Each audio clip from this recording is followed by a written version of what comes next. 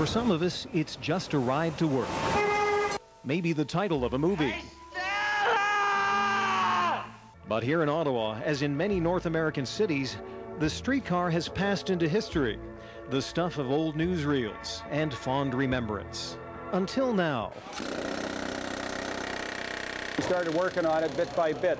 Um, we never really envisioned we'd be to this point now, uh, but we thought we might make a dent in it. These volunteers are making a dent, or better yet, pounding one out in Streetcar 696. It's a 90-year-old piece of Ottawa transit history, brought back from the boneyard for a second lease on life. It's a 1917 streetcar that uh, a bunch of the employees at OC Transpo decided in 1989 to get back from the Montreal uh, Rail Museum.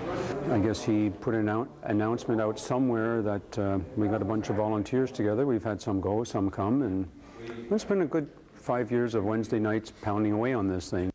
Restoration is a tricky business. It's all about getting the details just right and as close to the originals as possible. And the older the object being restored, the tougher that gets.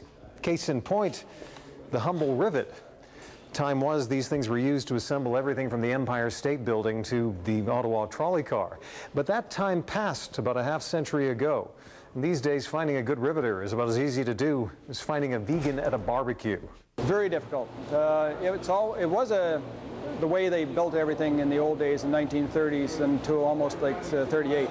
But then after that, welding came in, and so it became a lost art, and most of the people that had the skills are in their 80s and 90s. But we did actually, by luck, bump into a gentleman over at one of our Ottawa spring company, uh, companies, and uh, when I asked him to rebuild the springs, he mentioned that he had uh, rivet background. So he came over and showed us what we needed and the tools and gave us some hints. Tonight what you saw was the first actual uh, attempt or professional attempt to put the streetcar back together.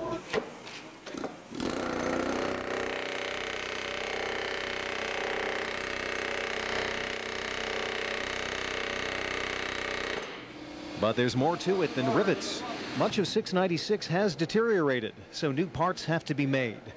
Happily, local businesses have stepped forward to provide the materials. It's really given us a big boost because now we know we can make an operating car which hopefully will be ready by 2009 when the light rail transit or light rail system comes into Ottawa and hopefully we'll be able to open the light rail system with the vintage car. When we started it off, right, I asked these guys if they wanted a static model or a rolling model. And as soon as they said rolling model, I was 100% on board. But the nice thing is, is that the light rail will be also the same track gauge as our streetcar.